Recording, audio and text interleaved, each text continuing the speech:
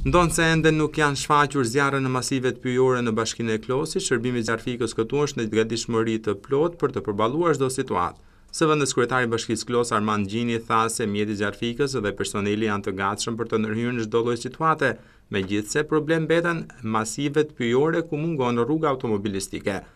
Për të mos patur nevojë ndërhyrje të shërbimit zjarrfikës, zëvendëskryetari i Bashkisë së Klosit, Armand Gjini, iu bëri apel banorëve të ruajnë masivet pyjore nga zjarrvëniet e qëllimshme.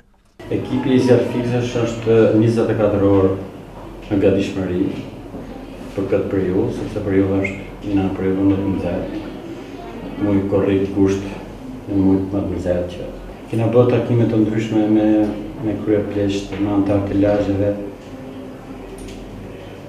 Me administratorët kena bërë takime për parandalimin e këtyre vatrave të zjarrit. Për shkak të situatës që situata zjarrat janë më shumë më të rrezikshme këtë periudhë.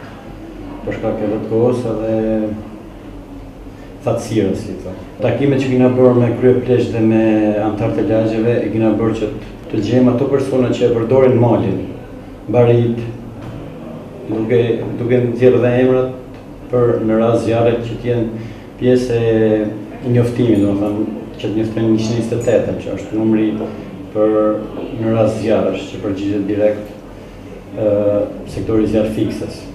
Unë do të jepsha një mesazh më të shumë, më të shumë një mesazh për banorët e zonës, të cilët të kenë sa më kujdes në rast se janë në zona pyjore, sepse zjarrat në zonat pyjore janë shumë më të vështira edhe për ne, edhe për makinën e zjarrfikëses për ndërhyrje.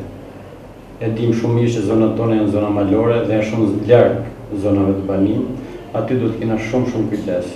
Ju lutem, banorëve të cilët kalojnë ose pinë cigaret, të lutem, ju lutem shumë që mos të hedhin cigaret ose mos mos të hapin vatra zjarri të cilat janë të pakontrollueshme. Shumë është e dëmshme edhe për për zonën e vet, sepse nuk vjen dikush nga një, një zonë tjetër dhe i jep zjarr zonës Ku është ai banor?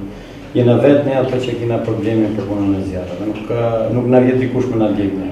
Kështu që të kenë sa ma shumë kujdes. Bashkia e Klosit u pajis me mjet zjarrfikës në fillim të vitit dy mijë e nëntëmbëdhjetë, pasi nga Ndarja Administrative Territoriale e vitit dy mijë e pesëmbëdhjetë, kjo bashki nuk e kishte një mjet të tillë, e për pasojë në ndihmë i shkonin mjetet zjarrfikëse të bashkive Mat e Bulqizë.